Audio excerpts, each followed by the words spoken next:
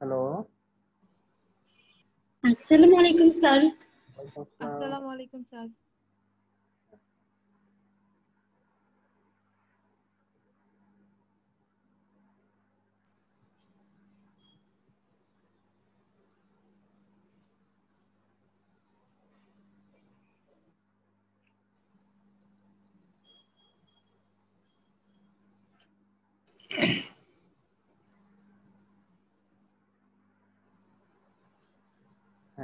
আফরিন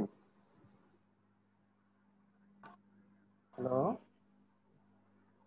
জি sir. তোমাদের কি এই গত দিনের ক্লাস শেষ করে ফেলছিলাম আমি? না ক্লাস কারেন্ট চলে গেছিল? তোমাদেরটা না তাদের কারেন্ট চলে গেছিল? এগুলা কি হয়ে গেছিল? তোমাদেরকে ক্লাস শেষ করছিলাম গতদিন? জি স্যার। ও তাহলে তোমাদের এইগুলা হয়ে গেছিল। তাহলে ওই পরবর্তী মানে জিরো সিক্স এর ক্লাস নিতে নিতে কারেন্ট চলে গেছিল তাহলে ওদেরটা বাদ ছিল আমরা মানে থিওরিয়াম শেষ করছিলাম মানে যে রেল এগুলা নির্ণয় করে আচ্ছা আচ্ছা বুঝতে পারছি। তাহলে মানে এই পর্যন্ত করেছিলাম ইলেভেন পয়েন্ট ফাইভ দেখাইছিলাম ইলেভেন পয়েন্ট সিক্স থেকে আমরা একটা অঙ্ক দেখি।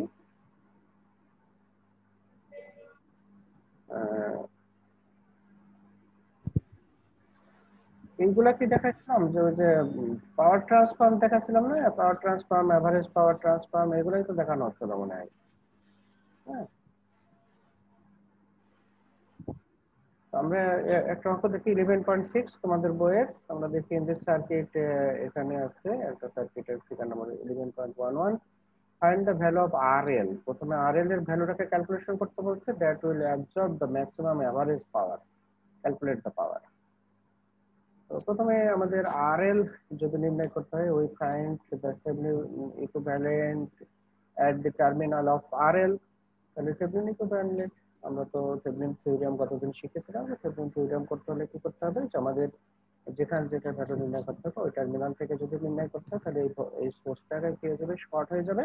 তাহলে এই সোর্সটা শর্ট হয়ে গেলে দেখা যাচ্ছে যে এইটার সাথে এইটা মানে ফর্টি মাইনাস জে থার্টি এটার সাথে কি আছে? যে টোয়েন্টি আছে প্যারালাল যেহেতু আমি এই পাশ থেকে দেখছি আর এল থেকে এই পাশ থেকে ক্যালকুলেশন করা হচ্ছে।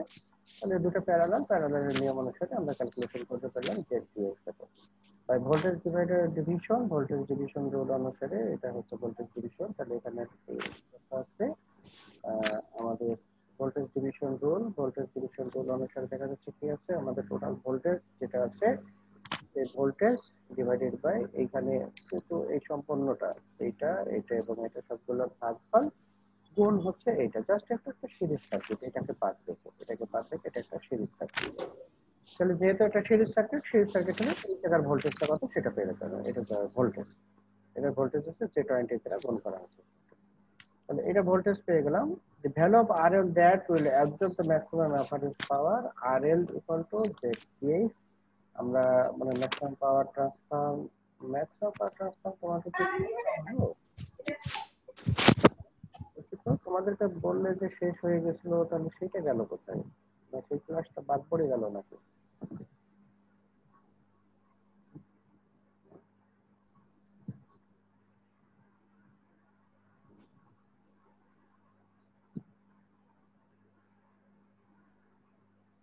এগুলা কি হয়েছিল? দেখো তো ইনস্ট্যান্টানিয়াস পাওয়ার এভারেজ পাওয়ার এগুলো হয়েছিল?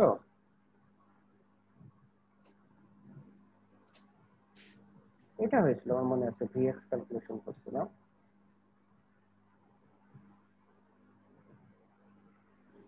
আচ্ছা, আমরা দেখব। এই যে এগুলা কি হয়েছিল? এটা এগুলা? কি ম্যাক্স ইকুয়াল টু এটা এটা এটা। হ্যাঁ আপনি শুনতে পাচ্ছ?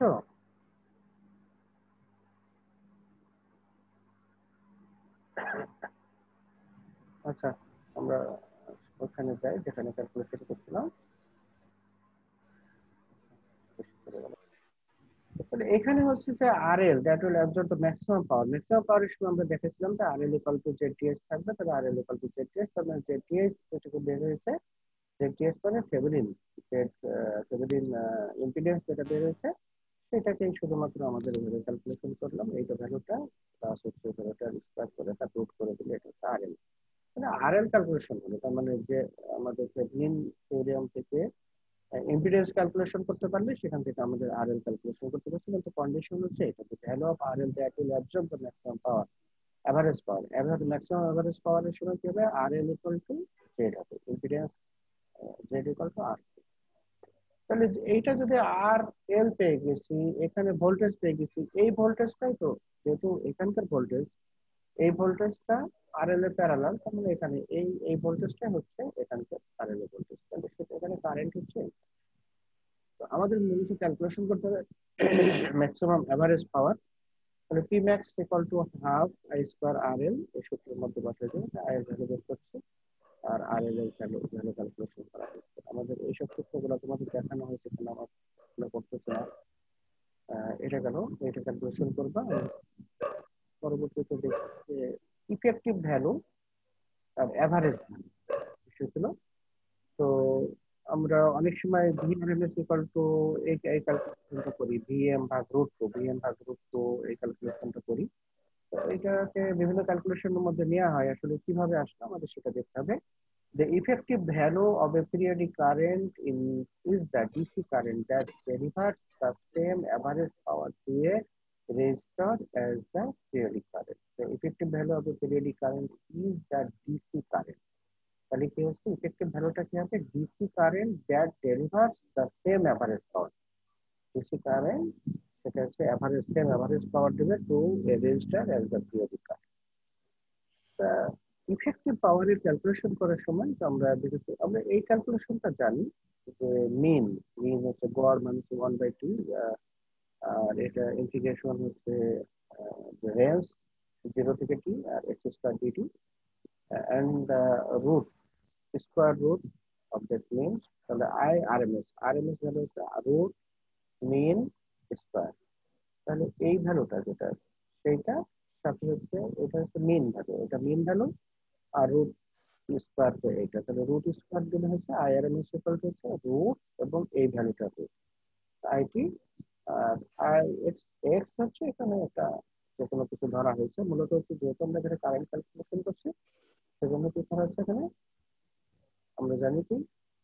I equal to P I M cos omega T এখানে যেহেতু স্কোয়ার আছে, তাহলে I M square cos square omega T আর রেঞ্জটা zero to T one by T এবং রেঞ্জ হচ্ছে জিরো টু টি এখন এইখানে দেখা যাচ্ছে যে এখানে ইন্টিগ্রেশন হচ্ছে ডিটির সাপেক্ষে। ডিটির সাপেক্ষে তাহলে এখানে কনস্ট্যান্ট ভ্যালু যেগুলো সেগুলো বের করে নেওয়া হচ্ছে এখানে কনস্ট্যান্ট ভ্যালু দেখা যাচ্ছে আইএম তাহলে আইএমটাকে বাইরে নেওয়া হচ্ছে, এখন কজ স্কোয়ারের তো সূত্র করা যায় না। কজ স্কোয়ারকে ভাঙলে আমরা এটা পাচ্ছি cos square half into one by cos two omega two dt এইটাকে ইন্টিগ্রেশন করা যায়।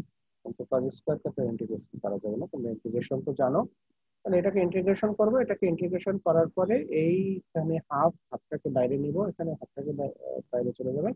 এবং one plus cos two omega T এখানে ওয়ানের জন্য ইন্টিগ্রেশন করলে টি আসবে আর কস টু ওমেগা টি তে সাইনটা যায় ভ্যালু আসুক, সেটা ক্যালকুলেশন করে একবার ই বসাবো একদম জিরো বসাবো, সেটা ক্যালকুলেশন করবে তারপর সেটা আসবে হচ্ছে এটা ওয়ান বাই আই এম ভাগ রুট তাহলে আই এম ভাগ রুট টু তাহলে একটা ক্যালকুলেশন করা হচ্ছে যে কারেন্টের ক্ষেত্রে I R M S I R M S root mean square value equal to I M ভাগ রুট টু যদি হয় সেম ওয়েতে বা সিমিলারলি লেখা আছে যে V M V R M S value হচ্ছে ভি এম ভাগ রুট আমাদের এই দুটা ভ্যালু জানতে হবে, কারণ হচ্ছে তো অনেক সময়, আমাদের ক্যালকুলেশনের সময় এটা আসে যে কোথাও কোথাও হয়তো কিছুই বলা নেই, হঠাৎ I R M S equal to I M ভাগ রুট বা V R M S equal to V M ভাগ টু ক্যালকুলেশন করে দেওয়া থাকে। কারণ আমরা এখান থেকে শিখলাম যে ভ্যালু বা আরএমএস ভ্যালু কি আসবে। আমাদের এখানে একটা ক্যালকুলেশন আছে অঙ্ক determine the RMS value of the current wave waveform এটা দেওয়া আছে একটা value if the current is pass through a two ohm resistor find the average power absorb by the resistor তো এখানে টু ওহম রেজিস্ট্যান্স দেওয়া আছে আর এর value তাহলে এখানে প্রথমে হচ্ছে ডিটারমাইন দ্য আরএমএস ভ্যালু প্রথমে আরএমএস ভ্যালু ক্যালকুলেশন করতে হবে if the current is pass through two ohm resistance find the average power তারপরে হচ্ছে টু ওহম রেজিস্ট্যান্সের মধ্যে দিয়ে ক্যালকুলেশন করলে পাস করলে সেটার পাওয়ার কত হবে আমাদের এই চিত্র থেকে দেখা যাচ্ছে কি, এখানে সরাসরি বলা আছে solution the period of the wave from T equal to 4 period হচ্ছে? আমাদের এখান থেকে শুরু হচ্ছে এবং শেষ হচ্ছে কোথায়? 4 এ গিয়ে। জিরো থেকে জিরো থেকে শুরু করে গিয়ে শেষ। তার মানে এটা হচ্ছে আমাদের টি এর ভ্যালু আর এই যে ভ্যালুটা, এই ভ্যালুটা কীভাবে আসছে? এই ভ্যালুটাকে তোমরা ক্যালকুলেশন করতে পারবে নিশ্চয় সেখানে আই এর দুইটা ভ্যালু পাবো আমরা। আই এর দুইটা ভ্যালু, একটা হচ্ছে রেঞ্জ হচ্ছে কি? এটা টি টি এর ভ্যালুটা দেখতে হচ্ছে জিরো থেকে টি টি এর ভ্যালু হচ্ছে জিরো থেকে শুরু টি তে গিয়ে শেষ। ফাইভ টি এই ফাইভ টি কিন্তু দেওয়া থাকবে না। এটা স্লপের ক্যালকুলেশন তোমরা পারো। স্লপ ক্যালকুলেশন এক্সের value X minus X one divided by X one minus X two যে ক্যালকুলেশন আছে, তোমরা স্লপ ক্যালকুলেশনের জন্য জ্যামিতিতে ত্রিকোণমিতিতে যেগুলো করছ, সেই ক্যালকুলেশন অনুসারে এটা হচ্ছে সেজন্য এখানে হচ্ছে ফাইভ টি এটা যেহেতু ঢাল আছে, ঢাল, ঢালের calculation স্লপের X minus X one divided by X one minus X two বা ওয়াই মাইনাস এরকম যে ক্যালকুলেশন আছে, সেটা। মানে এই পাশটায় দেখা যাচ্ছে যে এখানে ক্যালকুলেশন করলে আসবে সাথে ফাইভ এই ক্যালকুলেশনটা কিন্তু দেয়া থাকবে না, এটা নিজে করে নিবে। যে আই এর ভ্যালুটা আসলে কত ফাইভ টি তার রেঞ্জ কত? জিরো থেকে শুরু কি আছে জিরো টু টু আর two two four two two four হচ্ছে কি আছে যে এটা তো স্লপ নেই। এটা একটা আয়তাকার রেক্টিকুলার বা স্কোয়ার যাই হোক, সেজন্য এটা ম্যাক্সিমাম পয়েন্ট ভ্যালু যেটা সেটা। মাইনাস টেন এটার ক্যালকুলেশন নাই। শুধু কি এর ভ্যালুটা কি আছে? কি হচ্ছে two minimum value to maximum value হচ্ছে ফোর টু থেকে ফোর যদি এই পাশটাও আবার এরকম না থেকে, এরকম বাঁকা থাকতো, ওই পাশেও আবার একটু স্লপ বের করা আমাদের সেভাবে এটা ক্যালকুলেশন করা হবে যদি আরএমএস ভ্যালু আমরা আগের যে সূত্রটা RMS equal to root over one by T integration I square dt এখানে ওয়ান বাই টি টি এর ভ্যালু হচ্ছে আমরা এখান থেকে ক্যালকুলেশন করতে পেরেছি যে টি এর ভ্যালু হচ্ছে ফোর আর এখানে আমরা দুটা ভ্যালু করছি, একটা হচ্ছে ফাইভ টি ডিটি প্লাস হচ্ছে একই জিনিস, একটা হচ্ছে মাইনাস টেন এটা ক্যালকুলেশন করলে এটাকে যা তোমরা করতে পারছ এটা টোয়েন্টি ফাইভ আর এটা ক্যালকুলেশন করলে টি ইন্টিগ্রেশন তোমরা সবাই জানো পাওয়ার টু স্কোয়ার আছে three three two the power three divided by three range হচ্ছে জিরো থেকে টু আর এখানে হচ্ছে যে হান্ড্রেড গুণ করে এটা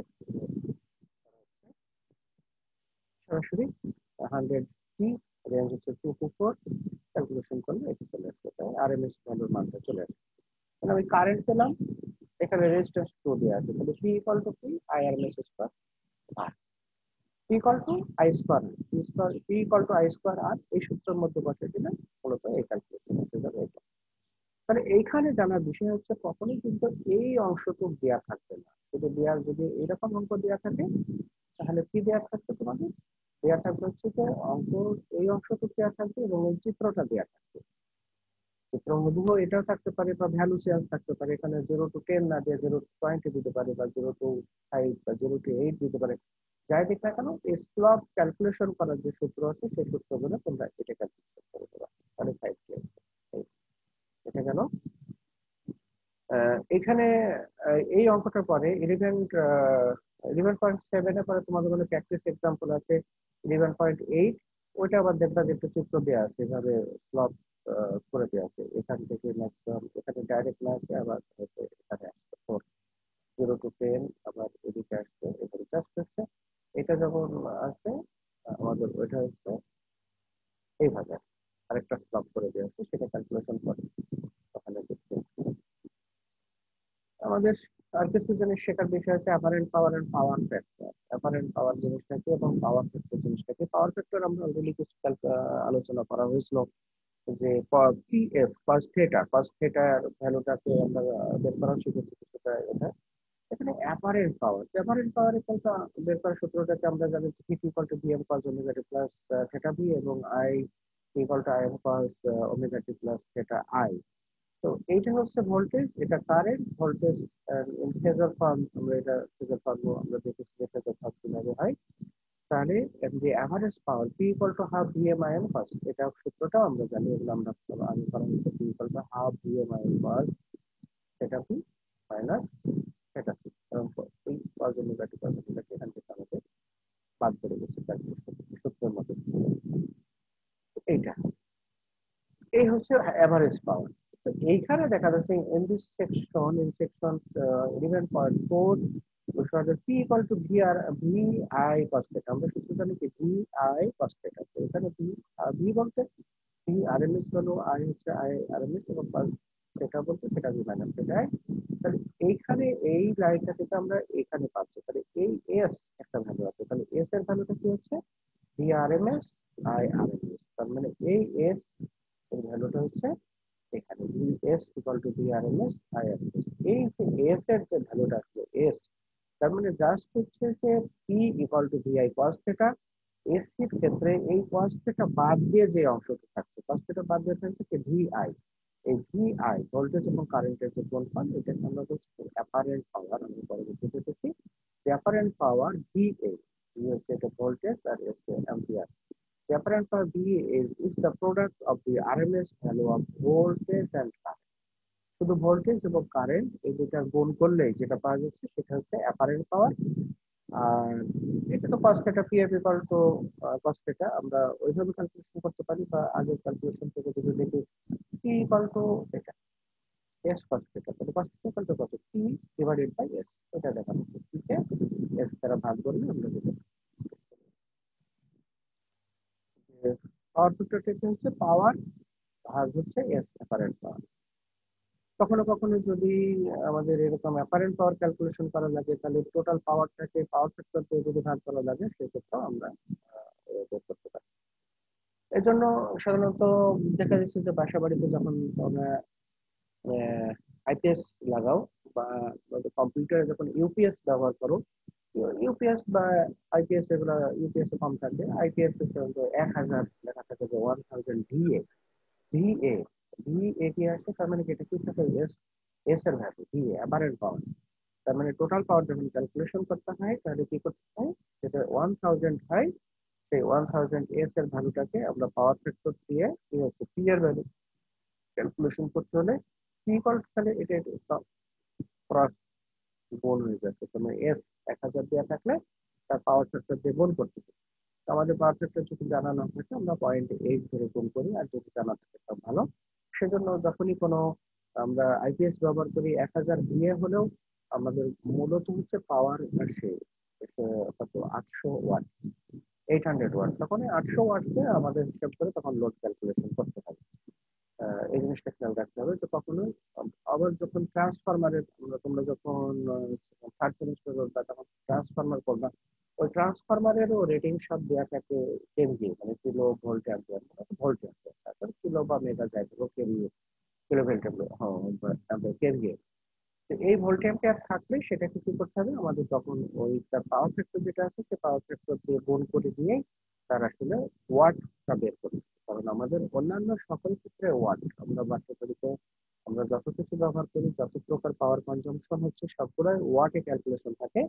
কিন্তু আমাদের কোনো কোনো ক্ষেত্রে যেমন আইপিএস ইউপিএস ট্রান্সফরমার এইগুলা থাকে হচ্ছে কেভিএ বা ভিএ রেটিং এ থাকে। তাকে যদি আমাদের এই বাসা বাড়িতে যেগুলো অ্যাপ্লায়েন্সেস ব্যবহার করা হয় বা ইন্ডাস্ট্রিতে যেগুলো ব্যবহার করা হয় সবগুলোই ওয়াটে থাকে। সেজন্য ওয়াটে আগে কনভার্ট করে নিয়ে লোড পাওয়ার ফ্যাক্টর ডেফিনিশন আগে পড়ে আসছে যে পাওয়ার একটা cosine of the phase difference between voltage and current তাহলে এখানে power factor equal to cos সেটা ভি মাইনাস সেটাই তাহলে পাওয়ার ফ্যাক্টরটা কি বলা আছে? Cosine cosine of the phase difference between voltage and current তাহলে এখানে ফেজ হচ্ছে, এটা ভি একটা অ্যাঙ্গেল আর সেটা এই দুটো অ্যাঙ্গেলের মধ্যে পার্থক্য হবে যেটা, তার কস ফর্মেটে কোসাইন ফর্মেটে যেটা থাকবে, it is also also the cosine of the angle of the load হচ্ছে পাওয়ার ফ্যাক্টর এখানে আরেকটা প্রশ্ন তোমাদের থাকতে পারে যে পাওয়ার ফ্যাক্টর কারেকশন এরকম point why power factor correction is needed এখানে এখানে একদম ওইভাবে সুন্দর করতে আমি আমরা তোমাদের এই বই থেকে আপাতত দেখতেছি। Power factor correction is needed কেন? তো পাওয়ার ফ্যাক্টর তো আমরা বুঝলাম এবং আমরা আগে আলোচনা করছি যে the process of increasing the power factor without altering the voltage or current to the original original load is known as power factor বলা হচ্ছে যে ভোল্টেজ এবং কারেন্টের মধ্যে যে ডিফারেন্স আসছে যে অ্যাঙ্গেল সেই অ্যাঙ্গেলটা process of increasing the power factor power ফ্যাক্টরটাকে increase করতে হবে। তো পাওয়ার ফ্যাক্টরটাকে ইনক্রিজ করতে হলে আমরা কি জানি? পাওয়ার ফ্যাক্টর ইনক্রিজ করার জন্য এখানে দেখা যাচ্ছে যে ভোল্টেজ এবং কারেন্টের মধ্যে আমরা সর্বশেষ এই চিত্রটা দেখলেই হবে। ভোল্টেজ এবং কারেন্টের মধ্যে ডিফারেন্সটা কমাতে হবে।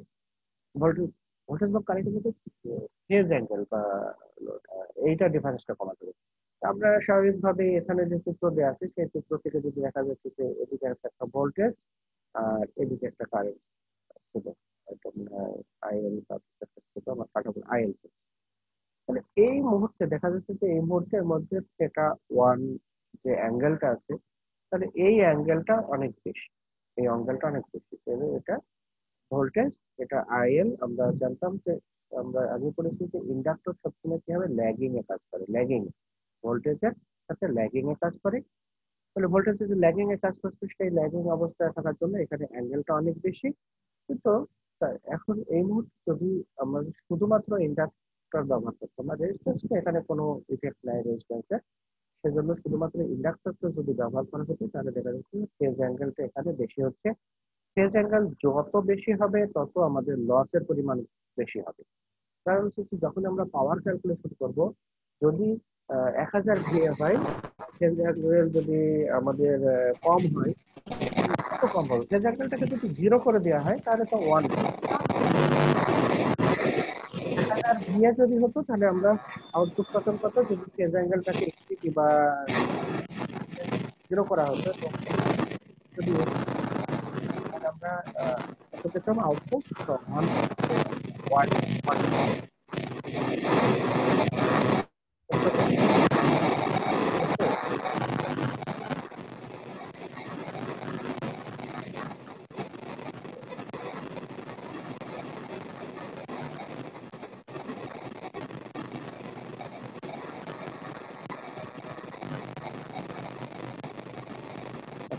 আমরা একটু শেষ করে দেবো। খুব তাড়াতাড়ি সাউন্ডের প্রবলেম অ্যাঙ্গেল যত বেশি হবে তত আমাদের লস হবে।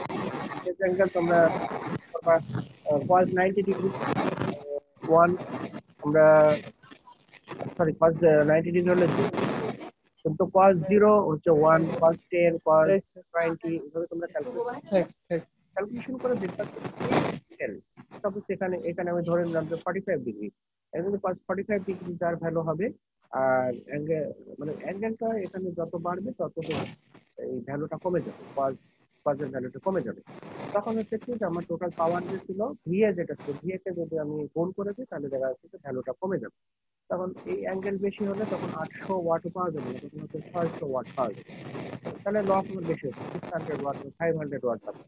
সেজন্য অ্যাঙ্গেলটা কমাতে হবে কীভাবে হবে প্রসেসটা হচ্ছে ইন্ডাক্টর থাকে। প্যারালালে যদি একটা ক্যাপাসিটর লাগানো হয়, তাহলে ইন্ডাক্টরের প্যারালালে ক্যাপাসিটর লাগালে কি হচ্ছে? আইএল এবং আইসি আইএল যেটি আইএল এদিকে কাজ করতেছে, আমরা দেখতেছি একটা নিয়ে কাজ করতেছে। তো আইসি কি হচ্ছে ভি সাথে? নাইনটি ডিগ্রি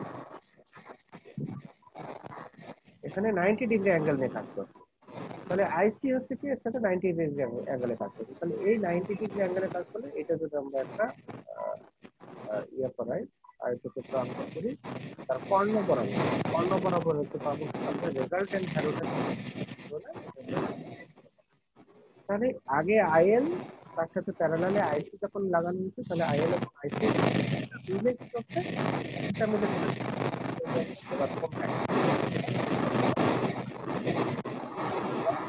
কম যাবে, তত আমাদের লসের পরিমাণ কম। এই ক্যাপাসিটারগুলো আমাদের যেখানেই motor motor three phase motor বা যে কোনো প্রকারের মোটর যখন আমাদের বাসা বাড়িতে ফ্যানগুলো ব্যবহার করা হয়, এই ফ্যানগুলোর মধ্যে কি থাকে কয়েল থাকে ইন্ডাক্টর এখানে যদি ক্যাপাসিটার না লাগানো যেত তাহলে ঠিক আছে motor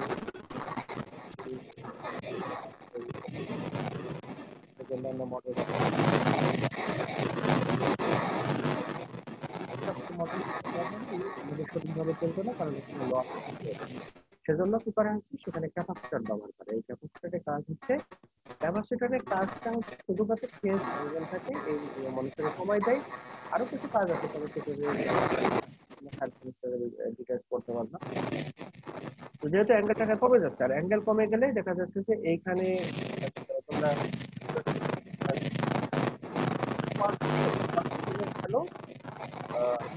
one thousand one thousand thousand ten একটা ভ্যালু ক্যালকুলেশন করে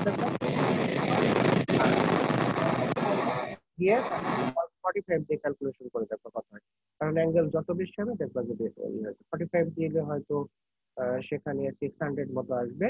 আর যখনই টেন দিবা, তখন দেখা যাচ্ছে যে এটা হয়তো প্রায় নাইন হান্ড্রেড মতো আসবে আউটপুট তাহলে দেখা যাচ্ছে যে অ্যাঙ্গেল বেশি হলেই আমরা আউটপুট কম পাবো অ্যাঙ্গেল কম হলে আউটপুট বেশি পাবো। যেহেতু আমাদের নিয়ম অনুসারে।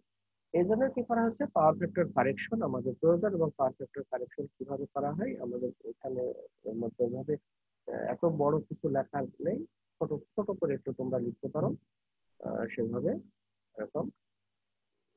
পাশে কিছু লেখা আছে। আমি আসলে আমি তোমাদের এই যে, এই ক্লাসটা আমি মনে করছিলাম যে তোমাদের ক্লাসটা মনে হয় সেদিকে কারেন্ট অফ হয়ে গেছিল নিতে গিয়ে, সেজন্য আমি আর রেডি করছিলাম না। পরে হঠাৎ মনে পড়ল যে, মনে হয় তোমাদের ক্লাসটা শেষ হওয়ার পরে ওই জিরো সিক্সের ক্লাসে কারেন্ট চলে গেছিল সেজন্য বাকিগুলো অ্যাড করে দিয়েছি। আমি অন্য বই বা নেট থেকে আর কাজ দেওয়ার সময় পাইনি। তো এই হচ্ছে আমাদের মোটামুটি আজকের পড়ার বিষয়। আর আমরা একটা জিনিস খেয়াল করতেছি যে আমাদের পার্টিসিপেন্ট কিন্তু খুব কম। তো আজকে মাত্র টোয়েন্টি টু এখানে প্রেজেন্ট আছে। তো আমাদের সিলেবাস প্রায় শেষে প্রায় শেষ বলতে মানে নাইনটি বা নাইনটি ফাইভ পার্সেন্ট সিলেবাস শেষ তোমাদের। আমরা এখন আর আমি মানে অনলাইন ক্লাস আর নিতে চাচ্ছি না। কারণ হচ্ছে অনলাইন ক্লাস নিলে যেটা সমস্যা হচ্ছে যে স্টুডেন্ট খুব অংশগ্রহণ কম করতেছে। আর আমার অল্প একটু সিলেবাস বাকি থাকবে, যেটা ক্লাস করলে আশা করা যাচ্ছে যে সরকার কি করে জানি না একত্রিশে আগস্ট পর্যন্ত ছুটি আছে, তারপরে তো কালকে নিউজে যেটা দেখলাম যে পঁচিশ তারিখ পরে জানাই দেবে যে কবে খুলবে। আর খোলার সাথে সাথে তো পরীক্ষা হবে না, খুললেও তো অন্তত পক্ষে তোমাদের খুলবে, তারপরে পরীক্ষার ডেট হবে ফর্ম ফিল আপ হবে, আমি খুললেও কমপক্ষে এক মাস পরে পরীক্ষা হবে। বা বিশ দিন পঁচিশ দিন যাই হোক সেই ক্ষেত্রে আমার এই যে সামান্য কিছু যদি বাকি থাকে, সেটা আমরা ক্লাসে একটু আলোচনা করব। আর আমরা যতগুলো জিনিস আলোচনা করছি, সব জিনিসগুলো তোমরা একটু পড়তে থাকো। যখন এখানে ক্লাসে আমরা ক্লাস করব, তখন কারোর কোনো সমস্যা থাকলে সেগুলো নিয়ে আমরা ডিসকাস করব পুনরায়। আর যেহেতু পার্টিসিপেন্ট খুবই কম আসতেছে সেজন্য আমার মনে হয় আমাদের সিলেবাসও শেষ। দুটো একটা টপিক হয়তো ছোট কিছু বাকি থাকলে আমি খুঁজে দেখব কি বাকি আছে। তো সেক্ষেত্রে আমরা কি করতে পারি? আমাদের কিছু ক্লাস বন্ধ থাকবে। আর যদি খুব বিশেষ দরকার হয়, তাহলে আমি জানাব যে হ্যাঁ আমরা ক্লাস নিতে চাচ্ছি হ্যাঁ? আমরা শেয়ারিং করে দিই। স্টপ রেকর্ডিংটা স্টপ করে দিই। স্টপ